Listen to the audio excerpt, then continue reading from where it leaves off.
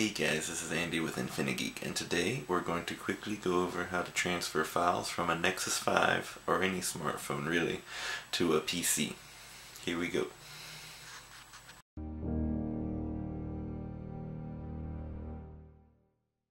To do this, you're obviously going to need a smartphone. I have the Nexus 5. You might have a different Android smartphone. Also, if you don't have a wireless network, you will need a cord like this, which is just a USB cord. I'm going to use my power cord that came with my Nexus 5, which also doubles as a USB connection. So, first, I'm going to plug this end into my phone. You will also need a computer, of course. And here, I just plug in just plug in the other end of your USB cord here. And then wait for the prompt on your computer. It also says connected as media device. If your phone doesn't want to connect to your PC, then what you need to do is you need to go to your storage settings. So go to storage in this little menu up here, USB computer connection. You want to click that and make sure you have media devices checked right here. Make sure that's checked.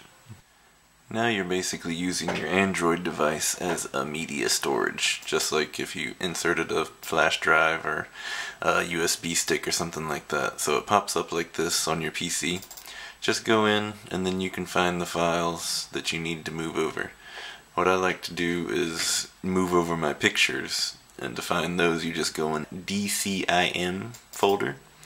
Click on that, and then you've got all your photos and stuff that that you get from different stuff like Facebook, browser, etc. The camera one is what we want, so we go into the camera, and then it populates all the pictures that you've taken. So basically, I just do a quick Control A for this, select all of the pictures, and then I'll just copy them over to my computer and delete them. And basically you're connected to your phone like a storage device so you can do other stuff like install APK files or whatever whatever you would usually want to do with your phone connected to your computer. The other way to transfer files to your computer is through your wireless network. So to do that you want to download a file manager app like ES File Explorer. I downloaded this one and I really like it, but there's tons of apps like this so feel free to download the one that you want. But basically what this app allows you to do is to use your phone's file system. And what you want to do if you have a wireless network set up is go to LAN. And then you'll see your computer pop up. And then here you can just navigate to where you need to to move your files over.